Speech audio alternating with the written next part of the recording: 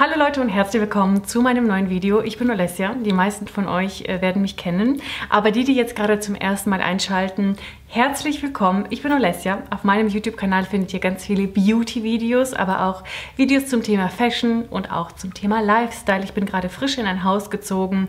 Dazu äh, habe ich auch schon einige Videos hochgeladen. Also eigentlich so ein kunterbuntes Thema. Ich bin schon seit bald sieben Jahren auf YouTube unterwegs mit meinen Beauty- und Make-up-Videos und ähm, ich bin dankbar für alle meine Follower und freue mich natürlich auch über neue. Und heute bin ich ein Teil einer Videowoche, einer Drogerie Favoriten-Videowoche. Und zwar habe ich mich zusammen mit sechs anderen YouTubern getan und wir haben diese Woche jeden Tag neue Beauty-Videos für euch. Also es geht komplett um Drogerie. Wir haben verschiedene Kategorien. Jeder von uns, meine Kategorie ist Contouring. Und so wie ihr schon sehen könnt, habe ich kein Contouring auf meinem Gesicht.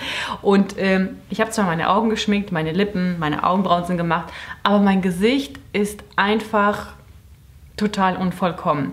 Manchen fällt es vielleicht gar nicht so auf, aber mir fällt das so auf und ich fühle mich fast auch ein bisschen unwohl. Äh, ich fühle mich auch ohne Make-up komplett wohl, absolut. Aber wenn ich mich schon schminke, dann ist für mich Contouring ein absolutes Must-Do. Und deswegen nehme ich euch auch mit, wie ich das so aufbaue. Aber ich zeige euch natürlich auch den direkten Vergleich. Wie schaue ich aus ohne Contouring und wie schaue ich aus, wenn ich mein Gesicht konturiert habe. Ich finde, das ist ein Riesenunterschied. Mit Kontur hat man einfach das Gesicht nochmal geformt, aufgefrischt, gehighlightet und es hat so viele Vorteile, finde ich. Und ich finde insgesamt, dass man mit konturiertem Gesicht immer besser ausschaut. Auch wenn es natürlich Geschmackssache ist. Man muss natürlich auch nicht alle, äh, alle Schritte machen. Ich zeige euch, wie ich das mache und vor allem noch viel wichtiger, welche Produkte ich dafür verwende. Alle, wie gesagt, sind aus der Drogerie. Ähm, ich werde zum Contouring zum Beispiel, finde ich, zählt auch ein Concealer. Aber da werde ich jetzt nicht näher darauf eingehen. So, und dann ziehe ich mal meinen Haarreif an, gell? damit die Haare alle schön aus dem Gesicht sind. So, und dann trage ich als allererstes mal einen Concealer auf. Das allererste, was schon sehr, sehr viel ausmacht beim, ähm, beim Konturieren, beim Highlighten und so weiter, ist der Concealer, wenn ihr mich fragt. Mit einem Concealer, der schaut jetzt sehr hell aus. Ich werde den setten und dann wird das viel schöner und harmonischer ausschauen. Aber mit einem Concealer kann man nicht nur Stellen abdecken, die man gerne verstecken möchte, sondern man kann auch richtig toll highlighten. Und zwar zum Beispiel die Partie unter dem Auge möchte man oft highlighten. Oder je nachdem, was für eine Gesichtsform ihr habt, möchtet ihr vielleicht auch euer Gesicht ähm, strecken oder ähm, sogar eher weiter aussehen lassen. Ne? Wenn ihr zum Beispiel ein sehr schmales Gesicht habt, ein längliches, dann möchtet ihr vielleicht ein bisschen in die Breite arbeiten. Deswegen ist es ganz wichtig, dass man den Concealer auch richtig aufträgt. Ich kann von mir ausgehend sagen, dass ich ein sehr markantes Gesicht habe. Das seht ihr natürlich auch selbst. Ähm, deswegen möchte ich mein Gesicht immer ein bisschen schmaler schminken. Deshalb ist es hier wichtig, auch den Concealer so aufzutragen, dass er mein Gesicht nicht noch weiter aussehen lässt. Deswegen halte ich den mehr hier so vorne. Und jetzt kommt das erste Produkt, das ich euch empfehlen möchte. Und zwar ein Puder. Bei Setting-Pudern ist es so, dass ich, äh, ich habe eine trockene Haut und äh, deswegen bin ich bei Puder immer sehr vorsichtig, denn da ähm, das trocknet meine Haut oft auch zusätzlich aus. Also ich bin natürlich natürlich ein Fan von Cremeprodukten, feuchtigkeitsspendenden Produkten, alles, was meine Haut glowy aussehen lässt. Und ein Puder mattiert natürlich das Ganze und macht eigentlich das Gegenteil. Deswegen Leute mit trockener Haut sollten bei Pudern echt aufpassen. Aber ich finde, die Stelle unter dem Auge sollte auf jeden Fall auch nicht glänzen. Man sollte sie auf jeden Fall setten. Deswegen benutze ich ein Puder, das möglichst meine Haut nicht austrocknet. Ich benutze normalerweise 80% benutze ich Produkte aus dem High-End-Bereich, aber es gibt natürlich auch wundervolle Produkte in der Drogerie und wie ihr schon sehen könnt, ich habe hier ein mega schönes Puder. Das hat mein, äh, mein Concealer auf jeden Fall ein bisschen gesettet, so hält das Ganze ruhiger. Aber mit dem Setten mattiert man nicht nur, sondern man macht das Ganze natürlich auch länger haltbar. So, weil ich das Ganze hier ähm, highlighten wollte, habe ich den Concealer natürlich heller gemacht. Der schaut sehr hell aus. Aber glaubt mir, wenn gleich alles zusammenkommt, dann wird es auf jeden Fall harmonisch aussehen. Und das Puder, das ich euch sehr empfehlen kann, falls ihr auch trockene Haut habt, aber trotzdem euer Gesicht setten möchtet. Nicht nur hier, sondern allgemein kann ich euch dieses Puder empfehlen. Das ist ganz neu erst, aber trotzdem schon bin ich total in love. Das ist von Catrice, das Mineral Matte Face Powder. Das ist aus der Clean ID und ich habe es in der Farbe 010 Neutral Sand. Und das ist so ein gepresstes Puder, aber das ist super, super fein und das schaut so schön aus, als hätte man sich so einen Filter unter die Augen aufgetragen. Deswegen liebe ich das sehr. Ähm, dann gehen wir mal weiter mit dem Thema Kontur. Ich habe hier zwei Paletten, also sagen wir es mal so. Es gibt natürlich noch viel, viel mehr wunderschöne Konturprodukte in der Drogerie. Ich habe hier welche vorliegen, die wirklich einfach ewig schon meine Favoriten sind, auf die ich immer wieder zurückgreife, die ihr bei mir auch immer wieder seht, wenn ich so Drogerie-Videos mache, weil es einfach meine absoluten Favoriten sind. Auf die kann ich einfach zählen und ich weiß, die funktionieren einfach bombastisch. Und das sind zum Beispiel diese äh, beiden Paletten. Die sind sehr ähnlich, wenn nicht sogar gleich könnte man sagen, von der Farbauswahl. Die eine Palette ist von Trended Up und die andere Palette ist von Catrice. Catrice, Leute, generell Hand aufs Herz, meine Lieblingsmarke in der Drogerie. Einer meiner Liebsten auf jeden Fall L'Oreal, Maybelline und so ist klar Manhattan. Aber irgendwie, Catrice sticht für mich immer wieder sowas von heraus und gerade auch deren Face-Produkte sind wirklich so, so schön.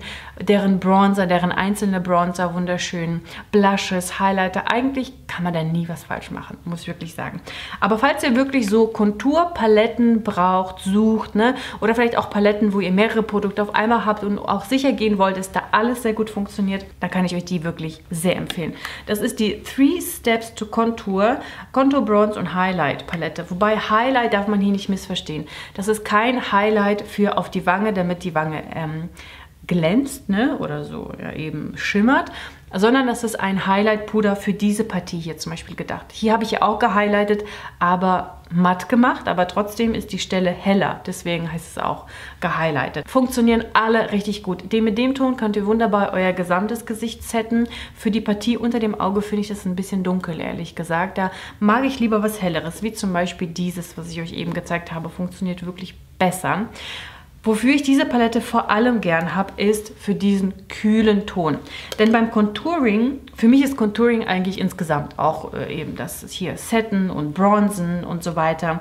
Aber das Konturieren an sich ist wirklich das Gesicht eben zu formen. Und dafür braucht man immer ein Produkt, das so ein bisschen graustichig ist. Und deswegen ist es wichtig eben, ist dieser Ton hier sehr, sehr wichtig. Und genau das gleiche eben in dieser Trended Up Palette, die auch so empfehlenswert ist. Pigmentierung wunderbar, lässt sich toll ausblenden. Das ist auch einfach die Trended Up Face Contour Set Palette. Super easy. Ich benutze heute mal die Palette von äh, Catrice, weil ich die von Trended Up ewig und ständig benutze. So, und hier gehe ich als allererstes in den grauen Ton. Und das ist eben ganz wichtig, auch beim Konturieren. Auch später, wenn ihr einen Bronzer, Blush und Highlighter und alles auftragt, ist es wichtig, mit diesem kühlen Ton anzufangen. Und es ist auch wichtig, den richtig aufzutragen und auch nicht zu weit. Also ich mache ein kleines Tutorial dazu. Ich gehe natürlich auch mehr auf die Produkte ein, aber ich zeige euch auch, wie man das aufträgt, weil ich finde, das ist so wichtig. Ne? Nicht nur gute Produkte da zu haben, tolle Pigmentierung, wundervolle Pinsel, sondern man sollte auch wissen, wo man die Produkte aufträgt. Ich habe übrigens kürzlich erst ein How-to Make-up auftragen oder Do and Don'ts Video gedreht mit Produkten aus der Drogerie. Und da zeige ich euch eine Hälfte, wo ich ähm, die Produkte auftrage, wie man es auftragen sollte. Und auf der anderen Hälfte zeige ich euch, wie man es vielleicht lieber nicht auftragen sollte. Könnt ihr euch auf jeden Fall mal anschauen. Aber heute geht es wirklich nur um die Konturprodukte. So, hier sieht man bei mir eigentlich ganz gut, wo die Vertiefung ist. Das heißt aber nicht, dass das Konturprodukt oder auch der Bronzer genau hier hinkommt. Es kommt eigentlich darüber. Diese Linie hier ist sozusagen das Ende vom, äh, von Kontur, Bronzer und Blush. Darunter sollten eigentlich keine Produkte sein. Denn sonst wird unser Gesicht so nach unten gezogen und wir möchten das Ganze hier liften und highlighten. Ne? Deswegen, selbst dieses graustichige Produkt, dieses kühle Produkt, gebe ich knapp über ähm, diesem, dieser Linie hier. Ne? Das heißt, das ist direkt unter meinem Wangenknochen. Und mit diesen graustichigen Konturprodukten sollte man, äh, mit denen sollte man sehr vorsichtig umgehen. Eher minimalistisch. Also nicht zu großflächig auftragen, nicht zu weit ins Gesicht, in die Gesichtsmitte ziehen, sondern haltet euch lieber außen. Wo möchtet ihr euch einen Schatten setzen? Wo möchtet ihr euer Gesicht schmaler aussehen? Dort tragt ihr die Konturprodukte auf. Ich möchte zum Beispiel auch gerne dass es hier ein bisschen schmaler ausschaut. Meine Stirn ist nicht groß, Deswegen möchte sie auch nicht optisch kleiner machen. Deswegen gebe ich mir auch hier kein Produkt auf. Wenn ihr eine sehr hohe Stirn habt, dann gebt ihr das Konturprodukt komplett um die Stirn auf oder sogar nur oben. Meine ist klein, deswegen spare ich das natürlich aus. Sonst habe ich noch eine kleinere Stirn. Und was ich auch gerne mache, ich gebe mir hier eine Kontur, damit es hier so schön scharf ausschaut. Bei der Nase ist es so, absolut Geschmackssache. Ich rühre meine Nase sehr selten an, muss ich ehrlich gestehen. Ich könnte vielleicht mehr damit machen, aber ich bin da sehr vorsichtig und sehr ängstlich, weil es ist so mitten im Gesicht und man sieht, wenn es schlecht konturiert ist. Deswegen gehe ich da gerne einfach nur mit meinem Bronzer mal drüber und ich finde, das reicht meistens auch. So, das war es eigentlich auch mit der Kontur. Das war zwar sehr wenig, sehr minimalistisch, aber es macht viel aus, weil es eben graustichig ist einfach mal diesen Schatten setzt. Das reicht auch schon. Mit dem Bronzer werden wir jetzt richtig schön weiterspielen. So, der Bronzer aus dieser Palette ist auch wieder richtig gut. Wie gesagt, es gibt, ich blende euch auch äh, hier Produkte ein, die ich sonst auch richtig gut finde, aber nicht hier habe, denn äh, ihr wisst vielleicht, wenn ihr mir schon länger folgt, ich bin der Aussortier-Profi.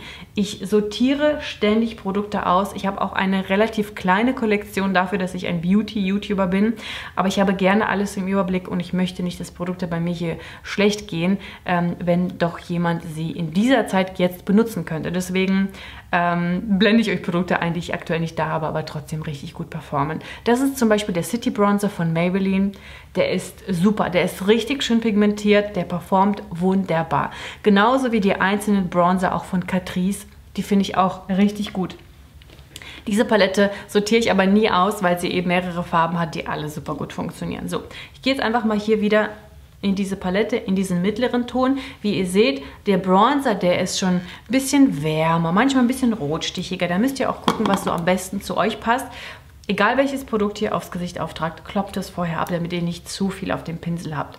Und jetzt werde ich mit dem Bronzer eigentlich genau auf oder etwas über dem Konturprodukt gehen und werde mein Gesicht insgesamt aufwärmen und diese graue Linie so ein bisschen verschwinden lassen.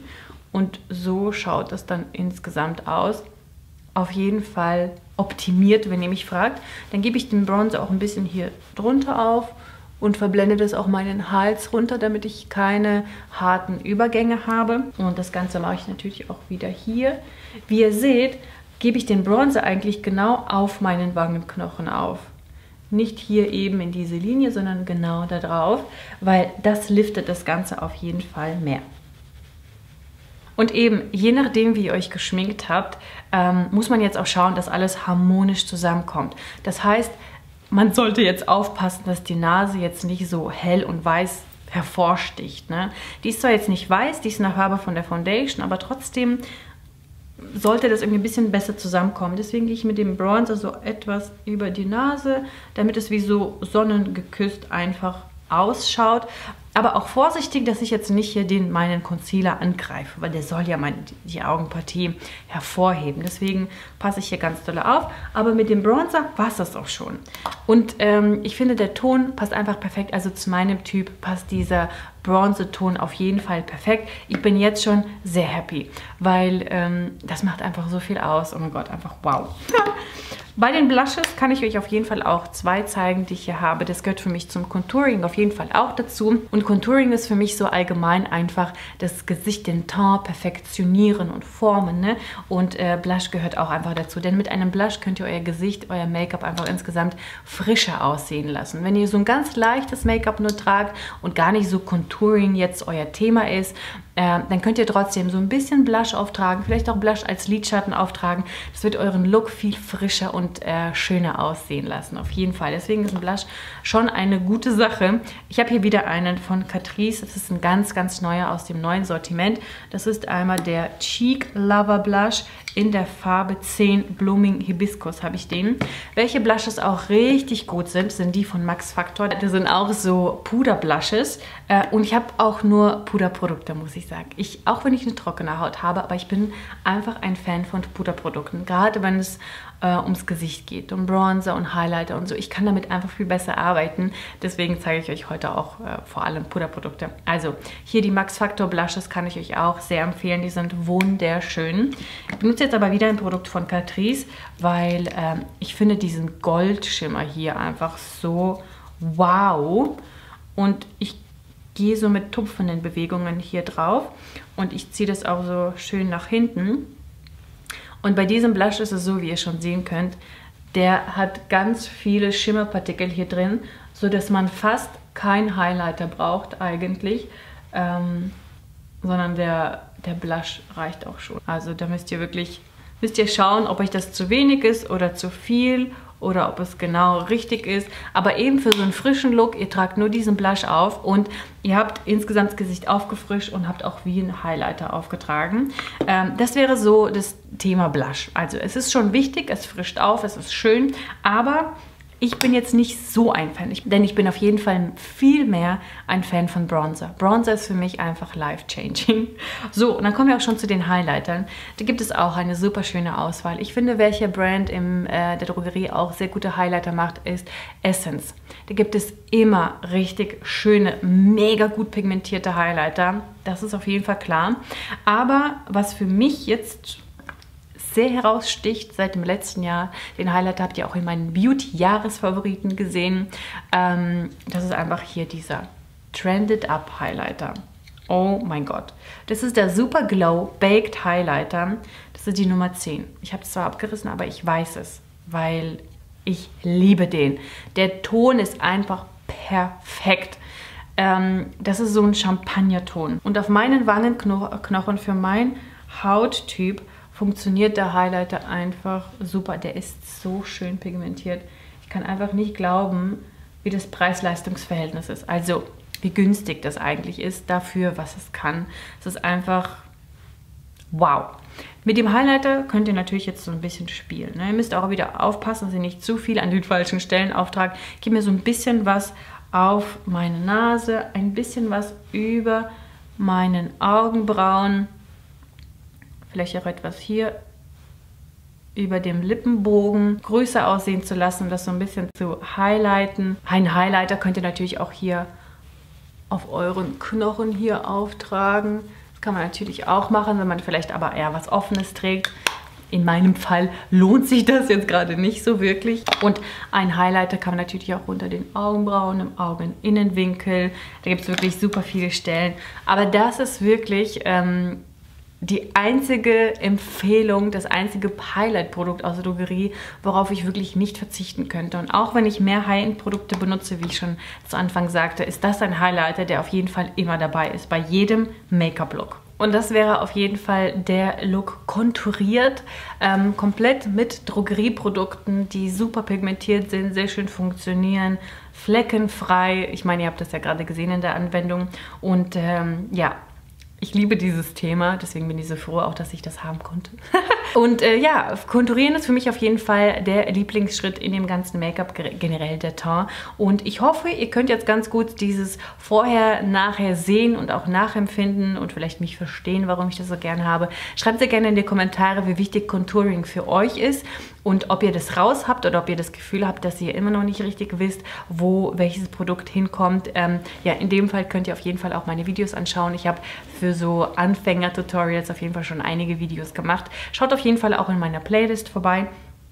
Und äh, ja, das war es dann auch schon mit meinem Video. Ich hoffe, ihr könnt aus diesem Video etwas mitnehmen. Ich hoffe auch, ihr habt schon gestern eingeschaltet. Gestern war schon das erste Video aus unserer Videowoche online. Ich werde es euch auf jeden Fall unten in der Infobox verlinken. Und zum Ende der Woche verlinke ich euch natürlich alle Videos in meiner Infobox. Ansonsten schaut sehr gerne auch bei den anderen YouTubern vorbei. Ich würde mich sehr, sehr, sehr darüber freuen. Hinterlasst dort auch liebe Grüße von mir. Und äh, ansonsten, ich hoffe, wir sehen uns im nächsten Video wieder. Und bis dahin wünsche ich euch alles Liebe. Tchau!